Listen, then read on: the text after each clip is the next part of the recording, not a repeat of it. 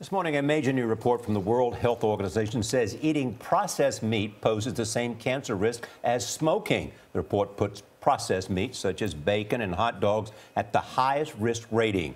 That is the same as cigarettes and alcohol. Red meat is called the next highest risk. The North American Meat Institute calls the report, quote, dramatic and alarmist overreach. Dr. David Agus is one of the world's leading cancer specialists and a CBS News medical contributor. He joins us from Los Angeles. Dr. Agus, good morning. Good morning, Charlie. So tell me what you think about this report. Well, the World Health Organization said not that it was the same risk as cigarettes and smoking, et cetera, but that it was definitive that there was an association with cancer. And I think that's real. Processed foods can slightly increase your risk, predominantly of colon cancer. To put that in perspective, the lifetime risk of colon cancer is 5%. If you have a hot dog every day, your risk goes to 6%, an 18% increase. So it's very, very small. So and, go ahead. Should we stop eating these processed meats? Well, I think we've always known that processed meats too much is bad. And what the data show is that three and a half servings a week of regular meat has no real health detriment at all. Processed meats aren't good for blood pressure, have a slight increase in colon cancer risk, potentially a slight increase in prostate and pancreatic cancer uh, risk.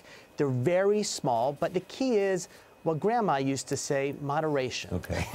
well, let's don't go there. I say that to Charlie too. But, so, but, but just help, help us understand what red meat is and processed meat, because that's a critical distinction. Right. So red meat is, you know, you put a steak on the grill. Processed meats are where they take meat and they put in whether it be lots of salt, preservatives, nitrates, and things to make it stay longer or taste differently. So bologna isn't a natural meat. Hot dogs aren't regular red meat, they're processed. And so we need to stay away from the processed. But the key is moderation. You nobody is going to eat a hot dog every day, which will raise the risk. Once in a while, it's fine. What about the benefits of red meat, though? Because I remember a period where we read studies saying women and, and young teenage girls weren't eating enough red meat. Are there some benefits that we should be aware of? I think that's the key thing is that yes, there are benefits to meat. Everything has a risk and a benefit. When I drove to the studio this morning, there was a risk something bad could happen. I could get in an accident.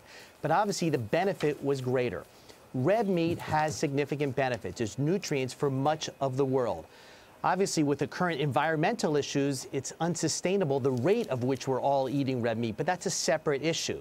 But we clearly need to keep doing what we're doing, which is moderation.